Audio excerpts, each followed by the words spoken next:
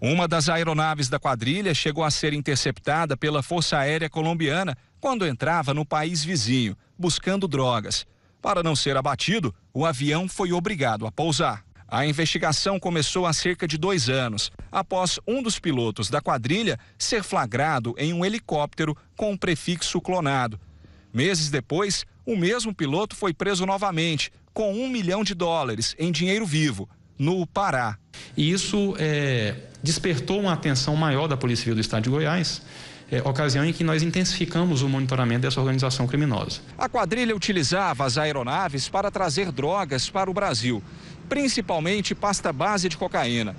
Quatro pessoas foram presas, seriam os líderes da organização criminosa que tem ramificações em todo o país. Foram cumpridos ainda 17 mandados de busca e apreensão em Goiás, Mato Grosso, São Paulo e Santa Catarina.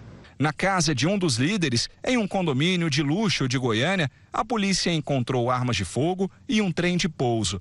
Os bens dos investigados foram bloqueados pela justiça. Não adianta prender apenas o piloto, não adianta apenas apreender a droga, né? Você só consegue realmente uh, combater organizações criminosas com a constrição patrimonial.